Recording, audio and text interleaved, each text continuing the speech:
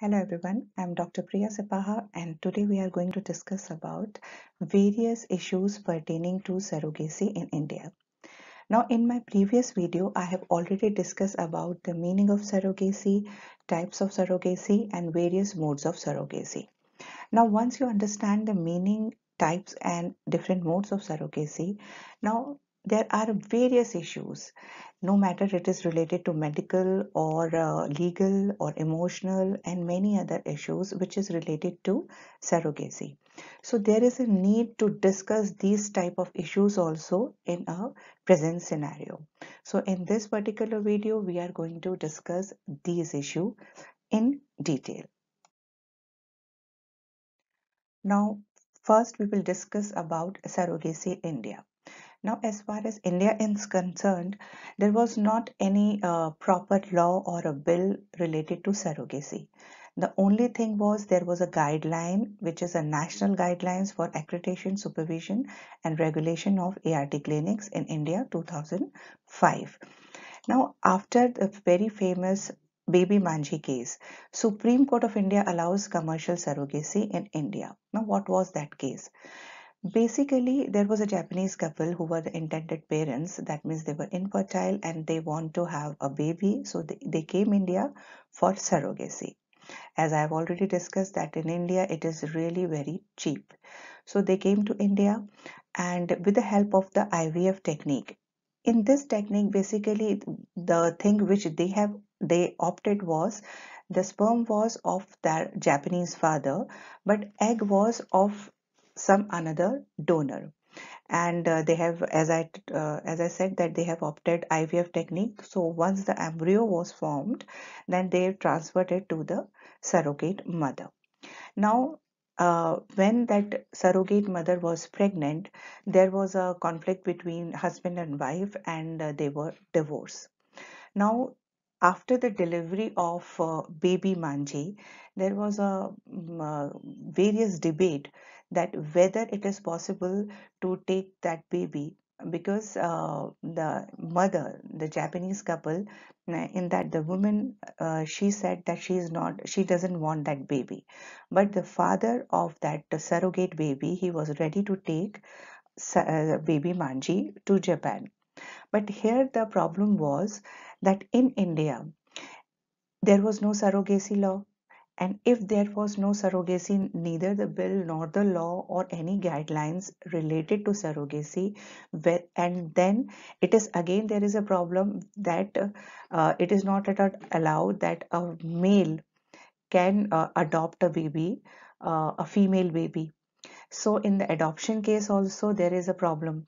Now uh, Otherwise, a male can adopt a female baby, but it is necessary that there must be a gap of 20 years but in that case that was also very tricky. So that case finally um, uh, discussed in the supreme court and supreme court directed that there must be uh, commercial surrogacy must be allowed in india and they have given certain guidelines. And on the basis of the apex court direction the legislature has drafted the artificial reproductive technology that is art bill and which was the guidelines thereafter. That's why that baby manji case was much discussed because uh, later on uh, the japanese father was allowed to take that baby finally. But it was a real complication. There was very many complication in that case. Now this was the first step in india towards uh, regulating factor or uh, to regulate surrogacy and the surrogacy industry in india which was unofficial was very uh, was flourishing a lot. And then subsequently uh, as per the requirement amendment was also done in 2008 in 10 in 2013 in 2014 in 16 19 and finally the surrogacy bill to 2020 so these are the this is the present situation in india that we are having. But now in uh, surrogacy bill 2020 commercial surrogacy is not allowed. Now what is uh, surrogacy bill 2020 and what are the um, important factors or the key factors this we are going to discuss in our next video. But in this video, we will be discussing only the issues related to surrogacies. Now let's have a look of surrogacy or the position of surrogacy in other countries. Now as far as Germany, Norway, Italy, Sweden and Singapore is concerned, it is completely banned. Now altruistic surrogacy is something which is allowed in Canada and in certain Australian states, New Zealand, UK, Greece, Denmark and the Netherlands. Whereas if we talk about USA, some states allow surrogacy, commercial surrogacy, but in a highly regulated environment. And in Russia and Ukraine, it is completely legal. But if we talk about India, now we are having Surrogacy Bill 2020, which allowed altruistic surrogacy, but they have banned commercial surrogacy. Present scenario, surrogacy is become as a new mode of business. Now, new mode of business means basically according to the news, there are 3000 surrogacy clinic in India, now which approximately generate 40 million dollar. Generally, IVF cost about $8,500 now you can identify or you can guess which amount of business they are having the ivf technique. Basically what happened the commission parents they are ready to pay any significant amount for a child because they were having so much of desire that they are ready to pay any amount. And india as compared to other countries it is in a in a way is very very cheap. That's why india has become rent a womb capital. So in India, there are variety of options available in the market to attract the consumer. Now consumers are here, the intent parents who want a surrogate baby. Now, for instance, which type of attractions are there? Uh, the uh, the egg or uh, the donor the egg donor that may be uh, with a high IQ level then the child must be good looking then fair complexion is again a very very demand in India always then good family background not having any medical or judicial background. These are of these are the type of things which is presented or which is a type of a market in a surrogate industry surrogacy industry. That means if you want a child then you can opt for any of these options now even the child childbirth is also customized it is not a default setting. Now it is customized. That on the basis of your requirement we will pro provide you a egg donor. Then the other thing is these demands are uh, and uh, are the large investment and they have resulted into the rapid increase of the number of the egg donation. Now whenever there is a poor or needy people they always uh, considered this particular thing as a very easy mode to generate money. Because uh, they uh, for this they have to become pregnant only. So so they find it very very easy mode and a very fast mode to generate uh, money. Then they do not bother even of the risk of the surrogate mother's health and even the emotional outburst is completely ignored. Now, this particular business has been increased in such a manner that, as I said, that now it is customized, so they are opting even the younger girl, a younger lot, to the till the any woman can deliver a baby. The only purpose is to generate more and more money. So that's why it has become a new mode of business in India. Now, surrogacy is not only a new mode of business, but it is also a new mode of human trafficking. Now, there are various ways of human trafficking.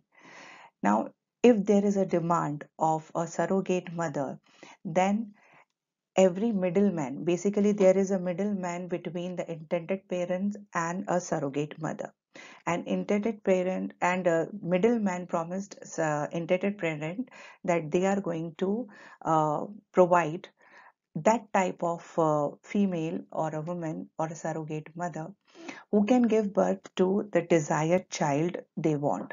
And for that definitely they want more and more surrogate mother. So they are they usually target poor or illiterate or women from the rural area generally now, in that case, they sometimes threaten or even use the violence. And they even try to convince their parents or guardian or husband or any other person to convince that particular girl or a lady to become a surrogate mother. And they are also ready because, as I said, that they find it as a as a easy and a quick way to generate more and more money. So that's why usually the uh, area, the woman or a girl of a rural area are targeted most. Then there is another mode which is uh, of a mode of a love, promise. That is also another mode of human trafficking of a surrogate mother. Similarly, also they can they convince for a good job and a home, which is often used to lure them. Then they also the recruiting process uh, this is uh, very much similar to the uh, human trafficking, especially of the sex worker. Now, in that case, violation of human right is at its peak. Why? Because doctors are directed to insert more than one or two embryos to increase the chances to get a woman pregnant without losing time or money because there may be chances of miscarriage there may be chances that women does not get pregnant. So they insist doctor to uh, to insert more than one embryo. Now usually they are kept usually kept in clinics where they are monitored around the clock now they are even deprived the basic necessities such as food, water, sleep, cleanliness, hygiene. There are many factors which is ignored. Uh, now there are they are also restricted to contact even the friends, family, and freedom of movement. That is also limited, and the identification of their documents are also controlled by the middleman. That's why it is said that it has become a new mode of human trafficking. Now let's discuss some of the legal issues. Now, as far as legal issues is concerned, the problem of trans-border surrogacy are generally in citizenship, in nationality, then motherhood, parentage, and rights of such children. That was a big legal issue, uh, especially for the trans-border surrogacy. Now, there are i have bifurcated uh, this legal issue in two parts. One part is related to intended couple that if they are breaching any sort of contract uh, which is from the part from the side of the intended couple and the another is from the part of the surrogate mother. So first let's discuss the breach of contract by intending couple. That means if the intended couple uh, is failure to pay all the expenses and fees which they have already promised. And not only promised it is desired by intended couple to pay all the expenses. So if they fail to pay that then if there is miscarriage then what is what about that surrogate mother? What about the health issues of surrogate mother? What about the medical complication of surrogate mother? Whether they are ready to pay all the expenses medical expenses to the surrogate mother or not? That is also a legal issue. Similarly if they want one baby and if there is a twins or triplets or more then what will happen to that particular the other child? Whether they are ready to take twins or triplets or more than one child that is also not specified anywhere. So that is a legal issue on the part of the intended intending couple. Now breach of contract by surrogate mother. Now breach of uh, contract as far as surrogate mother is concerned that there must be voluntary abortion without the consent of intended parents. There may be change in the thought of a surrogate mother and or all of a sudden she doesn't want to uh, deliver that baby. Now without informing intended couple if she uh, abort that baby then that is also related to legal issue. Now if she is not following certain behavioral restriction that means related to drug abuse alcohol consumption during gestation period. If these are the things which is which she is supposed to follow and if she is not following that is also a matter. Then if surrogate mother refuse to go for an abortion following the uh, following the attending physician recommendation that is also problem. Now before 2019 basically 20 also there was no provision provision of insurance or post pregnancy medical and psychiatric support for them. But in uh, in surrogacy bill 2020 uh, there are certain recommendation of insurance also and even the other things related to post pregnancy so that is a good step which has been taken in 2020 bill which we are going to discuss in the next video Now, there are certain medical issues also apart from hygiene because that is a primary thing. And apart from that, that there may be some medical complication during pregnancy also. So that is a big issue uh, as far as medical issues are concerned. Then a surrogate mother could be vulnerable to any sort of infection.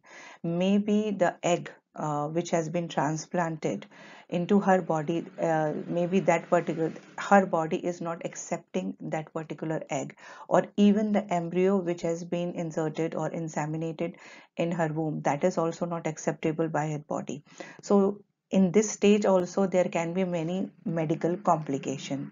Then there are chances of miscarriage also during pregnancy.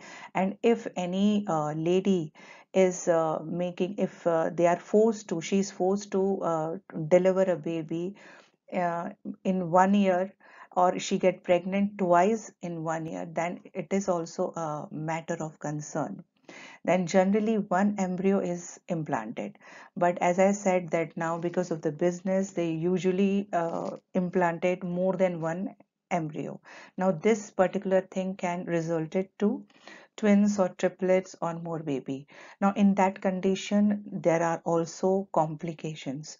So these are the things which is related to the medical issues. And apart from that, whatever complication at the stage of pregnancy till delivery and at the time of delivery, which any other woman can have, these those medical issues and complications are always there for the surrogate mother, which is necessary to be taken into consideration in a proper manner because she is the one who is giving birth to those person who are really infertile and they are not capable to deliver a normal baby.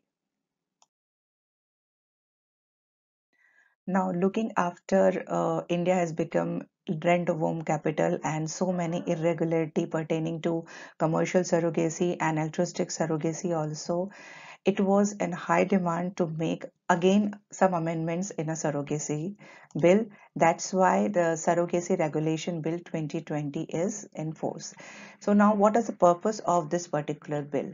First, the bill make provision for safe and ethical practice of assistive reproductive technology services in India. That is the main thing and the main purpose of this bill. Then to regulate surrogacy procedure in such a way to stop exploitation of poor and vulnerable women. Then thereafter, it also ensured the protection of right of child born out of surrogacy.